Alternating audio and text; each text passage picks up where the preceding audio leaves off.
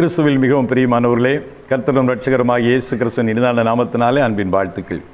நான்கு நிமிட நற்செய்திக்கு உங்களை அன்போடு வரவேற்கிறேன். இந்த செய்தியிலே ரட்சிக்கப்படுவதன் மூலம் தேவ பிள்ளைகளுக்கு கிடைக்கிற மூன்று முக்கிய ஆசீர்வாதங்களை குறித்து உங்களோடு பகிர்ந்து கொண்டு உங்களுக்கு ஜெபிக்க விரும்புகிறேன். ரட்சிப்பு என்று சொன்னால் ஒரு மனிதன் தேவனிடத்திலிருந்து பாவ மன்னிப்பை பெற்றுக்கொள்வது. அதற்குத்தான் ரட்சிப்பு என்பது பெயராகும். லூக்கா ஒன்று எழுபத்தி ஏழு அப்படி சொல்லுகிறது. சரி இந்த ரட்சிப்பை நம் ஆண்டுபடத்திலிருந்து எப்படி பெற்றுக்கொள்வது என்பதை நான் ஏற்கனவே வீடியோவில் சொல்லியிருக்கிறேன். யூடியூப்பில் எங்கள் சேனலில் போய் பார்த்தீங்கன்னா நீங்கள் அதை தெரிந்து கொள்ளலாம். ஆகவே இந்த ரட்சிக்கப்படும் பொழுது நமக்கு கிடைக்கிற மூன்று முக்கிய ஆசீர்வாதங்கள் என்ன? அதைத்தான் இப்பொழுது நான் சொல்லி உங்களுக்காக ஜெபிக்க போகிறேன். முதல் ஆசீர்வாதம் ஒன்று பேதுரு ஒன்றாவது அதிகாரம் எட்டு ஒன்பது வசனங்களை நீங்கள் வாசித்தால் நாம் சொல்லி முடியாததும் மகிமையால் நிறைந்ததுமாய் இருக்கிற ரட்சிப்பின் சந்தோஷத்தினாலே உள்ளத்திலே நிரப்பப்படுகிறோம் என்று அந்த வசனங்கள் சொல்கிறது ஆம் ரட்சிக்கப்படுவனுடைய முதல் பெரிய ஆசீர்வாதம் ஒரு மனிதன் குற்ற உணர்வு நீங்கி பாவம் மன்னிக்கப்பட்டு விட்டது என்ற நிச்சயத்தை பெற்றுக்கொள்கிற பொழுது உலகம் தராத எங்கும் உலகத்திலே கிடையாத ஒரு பெரிய ரட்சிப்பின் சந்தோஷம். அதுதான் நிம்மதி என்று உலகம் சொல்கிறது இந்த தெய்வீக சந்தோஷத்தை ஒரு மனிதன் ரட்சிக்கப்படும் போது பெற்றுக்கொள்கிறான் அதனால தான் தான் பக்தர்கள் பாடினார்கள். என்ன என் ஆனந்தம்? என்ன என் ஆனந்தம்? சொல்லக்கூடாதே.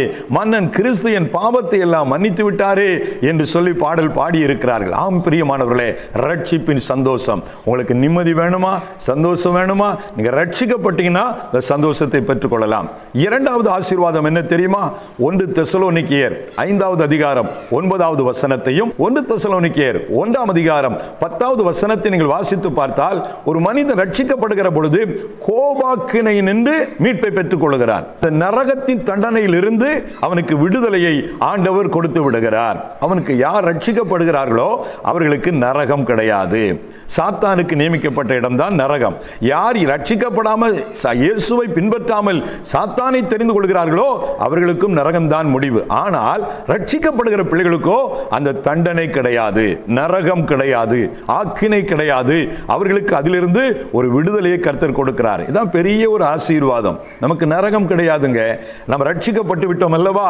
கர்த்தர் நாம அந்த தண்டனையை ஏற்றுக்கொள்வதற்கு பதிலாகத்தான் சிலுவையிலே அவர் தண்டிக்கப்பட்டார். ஆறு மணி நேர வேதனைகளை அனுபவித்தார். நம்முடைய பாவத்திற்காக அவர் ரத்தத்தை சிந்தி தம்முடைய ஜீவனையே கொடுத்தார். ஆகவே அவருடைய ஜீவன் நமக்காக கொடுக்கப்பட்டபடியினாலே நம்மை அந்த நரகத்திலே தள்ளிவிடாதபடி நமக்கு பாவ மன்னிப்பை தந்து நரகத்தின் தண்டனையில் இருந்து விடுதலை கொடுத்து நம்மை ஆசீர்வதிக்கிறார். இதான் பெரிய ஆசீர்வாதம். அவை எனக்கு நான் செத்து போனா நரகத்துக்கு போயிடுவோன்னு பயப்படாம இருக்கணும்னா நீங்கள் ரட்சிக்கப்படுங்க நரகத்திலிருந்து விடுதலை பெற்றுக்கொள்வீங்க. இது ரெண்டாவது ஆசீர்வாதம். மூன்றாவது ஆசீர்வாதம் என்ன தெரியுமா? வெளிப்படுத்தும் விசேஷம். இருபத்தி ஓராம் அதிகாரம் இருபத்தி நான்காம் வசனத்திலிருந்து இருபத்தி ஏழாவது வசனங்கள் வரை நீங்கள் வாசித்து பார்த்தால் ரட்சிக்கப்படுகிற ஜனங்கள் பரலோக வெளிச்சத்திலே நடப்பார்கள் என்று சொல்லப்பட்டிருக்கிறது. ஆம் ரட்சிக்கப்படுகிற நமக்கு பரலோகத்திலே இடம் இருக்கிறது. ஒரு அல்லா சொல்லுங்களேன்.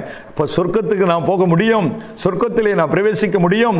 இப்பொழுது நாம் மறிக்கிறோம் என்றால் மறிக்கிற பொழுது நம்முடைய சரீரம் தான் இங்கே கல்லறையில் அடக்கம் பண்ணப்படும். நமக்குள்ளே இருக்கிற ஆத்துமா அது அழியாதது. அது ஆத்துமா அது நித்தியத்திலே பிரவேசிக்கிறது.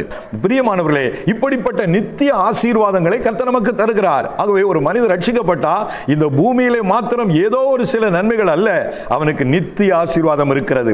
ஆயிரம் வருட அரசாட்சியிலே பங்கு இருக்கிறது. சொர்க்கத்திலே அவனுக்கு இடம் இருக்கிறது. அப்புறம் அவனுக்கு வேதனை இல்லை துன்பம் இல்லை. அதற்கு பின்பு மரணம் இல்லை அப்படிப்பட்ட வாழ்வை கர்த்தர் நமக்கு தருகிறார். இதுதான் ரட்சிப்பின் ஆசீர்வாதம். ஆம், பிரியமானவர்களே இந்த மேன்மையான ரட்சிப்பை நீங்கள் பெற்றுக்கொள்ளாமல் இருக்கலாமா? இப்பொழுதே கர்த்தருக்கு ஒப்பு கொடுங்க. என் பாவத்தை மன்னி ஆண்டவரே. என்னை பிள்ளையை பிள்ளையா ஏற்றுக்கொள்ளும். எனக்கு இந்த ரட்சிப்பு நிச்சயத்தை தாரும் என்று ஜெபியுங்கள். கர்த்தர் உங்களுக்கு இறங்குவார். ஜெபிப்போமா? அன்பின் பரலோக பிதாவே இந்த ரட்சிப்பின் மூலம் கிடைக்கிற மூன்று ஆசீர்வாதங்களை நாங்கள் ஒவ்வொருவரும் பெற்றுக்கொள்ள எங்களுக்கு அனுக்கிரகம் செய்யும் அப்பா.